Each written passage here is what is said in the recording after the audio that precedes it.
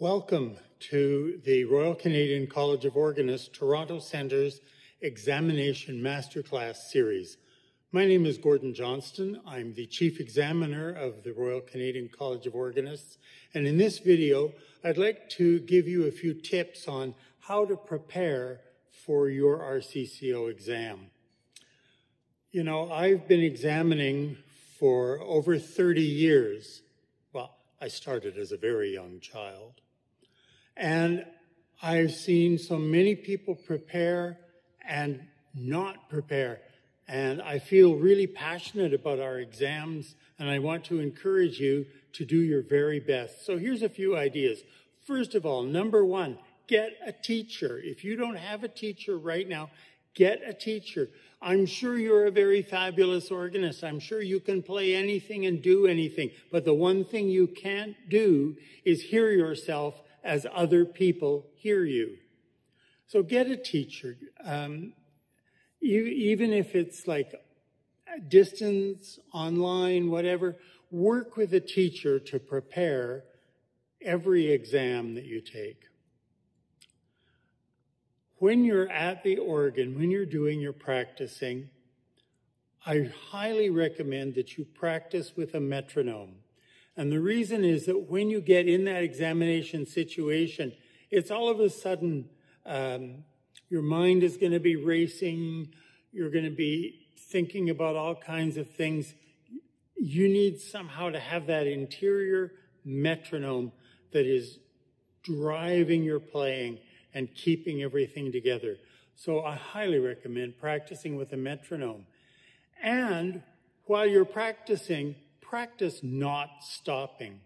You know what I mean. I know you do because often when we're playing something, we play it over and over. And we, oh, when we bump up against something, oh, well, we stop, we go back, we fix it. We, but the problem is we don't ever practice going top to bottom.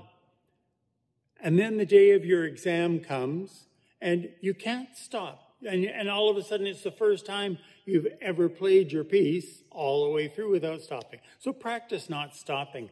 One of the things you can do to prepare for the examination situation is to record yourself.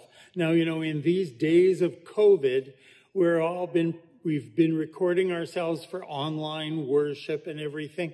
And so we're familiar with what it takes to record, but we're also familiar with that feeling of being able to play a piece blindfolded in your sleep until you push the record button and all of a sudden your mind is all over the place. Your fingers can't remember where they go.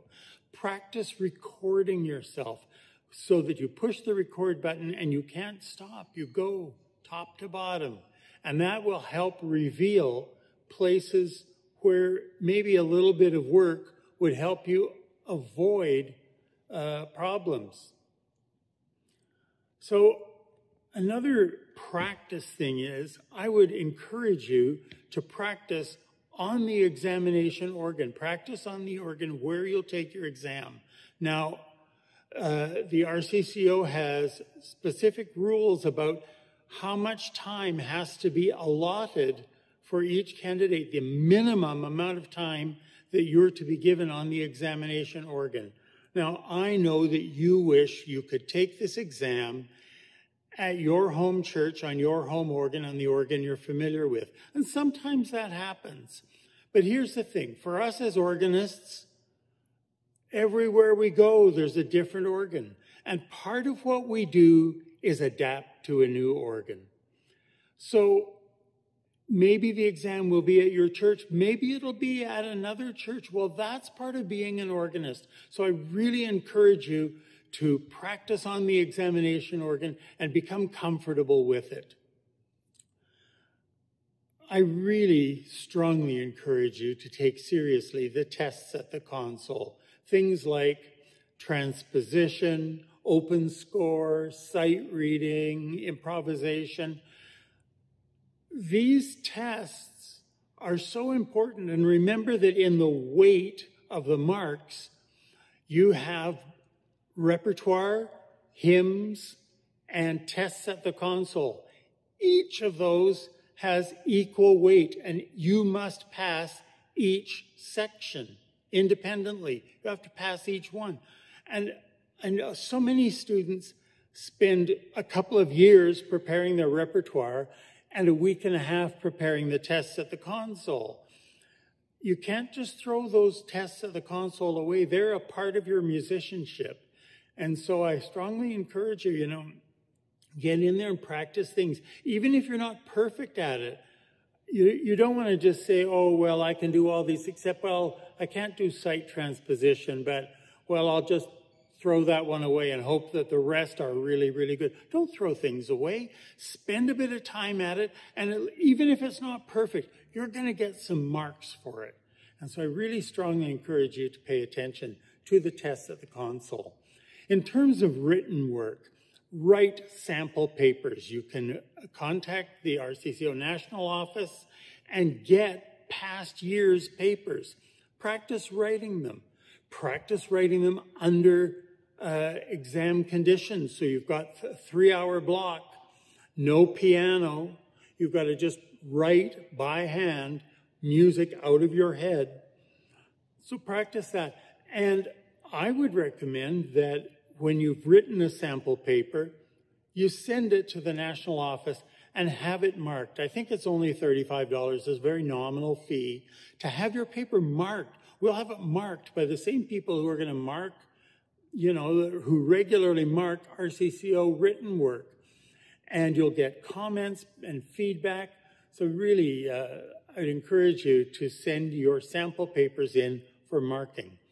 Um, now, when you're looking at the, the essay questions, every year or every three years, as the syllabus changes, they publish what the subject will be. Well, think about that because, you know, when I was on the exam committee, we would sit there and we'd look at the subject and dream up questions.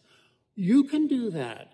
Look at it and say, oh, well, the, uh, the question is, talk about the Orgelbewegung and the resurgence of interest in uh, historical organs. Oh, well, what might be a question about that? Oh, maybe uh, name some important organs in Canada that were part of the Orgelbewegung. Uh, name builders and talk about their instruments that were influenced by historical practice. You know what I mean? Make these questions up for yourself and all of a sudden, you'll be thinking about the things that you need to know for your exam.